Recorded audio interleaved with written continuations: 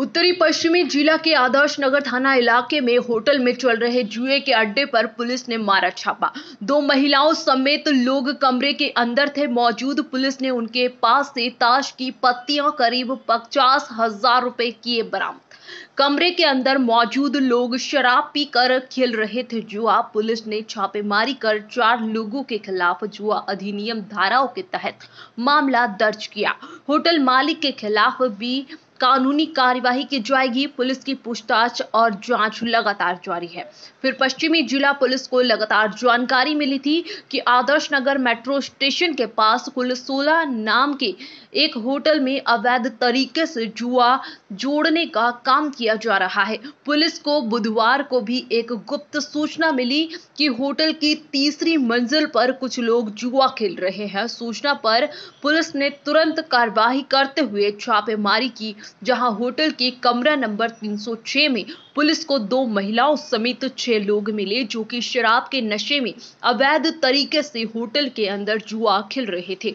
Police ने इनके पास से जुआ खेलने वाले ताश की तीन गड्डियाँ और करीब पचास हज़ार रुपए नगद बरामद किए हैं। दोनों महिलाओं का कहना है कि वह कमरे में मौजूद राजेश गोयल के जानकार है, जिन्होंने अपने अन्य दोस्तों के साथ पार्टी करने के लिए उन्हें होटल में बुलाया था।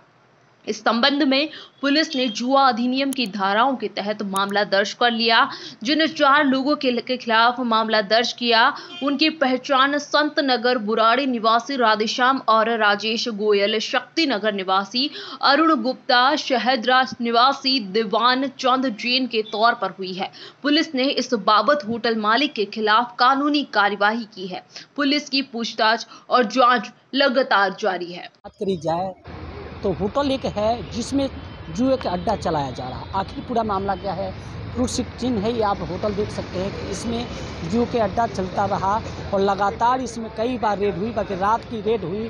तकरीबन छः लोगों को गिरफ़्तार किया गया है, जो बताया जा रहा है चार जो है बाहर बाहर के लड़के हैं और दो महिलाएँ हैं, जो बताया जा रहा है कि जो पहले रेड होता था तो आसपास के लोग मिला करते थे। बाकी अब जो चार जो व्यक्ति गिरफ़्तार हुई है, वो लोग अलग अलग के हैं, कहीं नरेला का, कहीं और जगह की बताया जा रहा है, बाकी कहीं ना कहीं देखा जाए कि आदर्श नगर में इस तरह से हमेशा चलते आ रहा है होटल के अंदर जुए, उस तरह की बात करी जाए क्या होटल की बात करी जाए, होटल के बाहर आप देख सकते हैं कि किस तरह से अवैध भी पार्किंग चलाया जा रहा है। कई बार यहाँ स्थानीय लोग को शिकायत देने के बावजूद भी इस तरह से होटल का बाहर खुलेआम अवैध पार्किंग भी चल रहा है। कहीं ना कहीं देखा जाए कि आदर्श नगर थाने की बात करी जाए कि थाने का अधिकारी कई बार रेड करने के बावजूद भी इस तरह से होटल में खुलेआम चल रहा है। जुए का अड्डा और लगातार इस पर पुलिस प्रशासन कार्रवाई करते हुए भी नज़र आ रही है। बाकी फिर भी इस तरह से मामला सामने